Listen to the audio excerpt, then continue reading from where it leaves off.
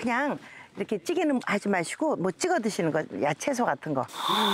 어머 너무 맛있어. 이건 여름 봄에 우리 집 마당에 난 두릅 가지고 장아찌 한번 드셔보세요.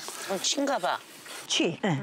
다 저희 마당에 뜯은 거라서 잡고 올게요. 조금 덜 익었기 조금 덜 익었기 이게 수박을 갈아 넣었어 이 물이 수박물이 이게 설탕 넣은 게 아니고요 수박을 가 짜서 수박즙을 넣어서 아 수박즙 넣었어요 거기? 와 시원하겠다. 익은 것 같은데. 조금 익어야 맛있잖아요 그죠? 아 이제 잘 되네 안 깨지고. 그거 쓰지 말고. 열무하고 수박 넣으면 장사고 뭐 우리끼리 밥 먹고 말자.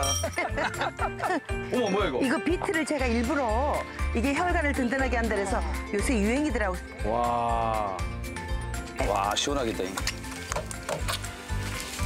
덜 익은 거 아니 근데 제가 듣기로는 우리 예정 선생님께서 남편분 때문에 요리를 시작했다 뭐 그런 설이 돌던데. 네, 입이 너무너무 짧아서 예 예. 뭘 잤어야 말이죠 예예. 아니 그러니까 조금 전부터 요리에 그 그. 그럼요 만나기도 조금 그죠? 재질이 네, 있으셨는데. 제가 요리를 좋아해서 세상이 이렇게 뜰 줄 알았으면 내가 그때 시집을 왜 갔겠어요? 세상이 이렇게 뜰 줄 알았으면 내가 그때 시집을 왜 갔겠어요?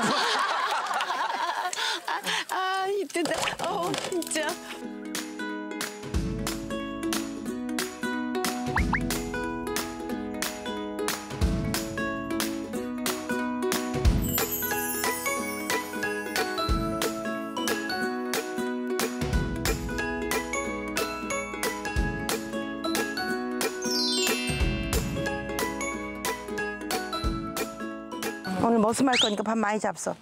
많이 드세요. 건강식. 어, 대단합니다.